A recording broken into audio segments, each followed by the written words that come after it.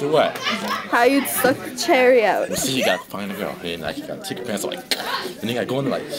oh, there it